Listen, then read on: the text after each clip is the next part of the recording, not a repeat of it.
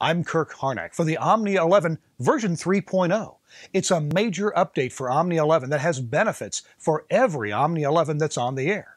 We'll check out the features that are included in version 3.0 right after I tell you the price. It's free.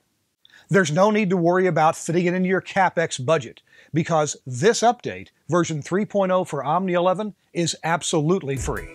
The first feature we'll find in Omnia 11 3.0 is Static RDS. If you're not already putting your FM station's call letters, frequency, and format on an RDS subcarrier, well, now you can.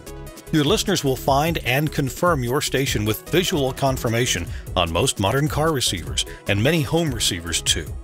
For stations in PPM measured markets, Omnia 11 3.0 features an improved and research proven PPM encoder patch point.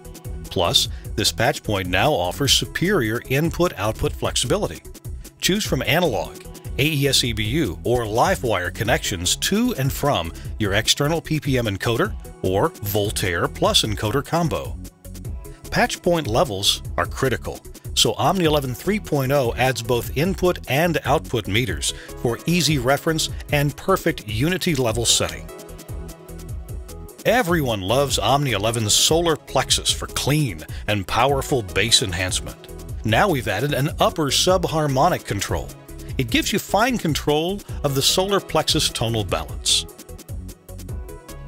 Version 3.0 for Omnia 11 brings FM HD automatic time alignment compatibility with all popular FM HD modulation monitors offering this feature the Omnia 11 has always offered simultaneous FM and HD processing. Now, the HD chain offers parametric EQ, including low and high shelving action, for more flexibility in tailoring your HD1 sound. Choose whether the HD processing is fed with patch point audio or straight through audio, allowing for separate PPM watermarking of the HD audio. And for even better precision level setting, all input and output master level controls now adjust in 0.1 dB steps, with an accelerator mode giving half dB steps.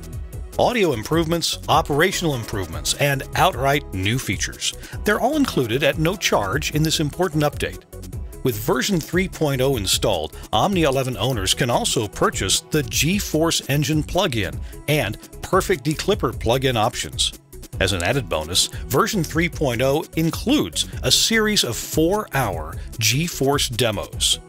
Visit the configuration page after loading version 3.0 and select G-Force FMHD. If your Omnia 11 was purchased in 2016, you're eligible for the G-Force Engine plugin at no charge. Just install version 3.0 and talk with Omnia support for free licensing.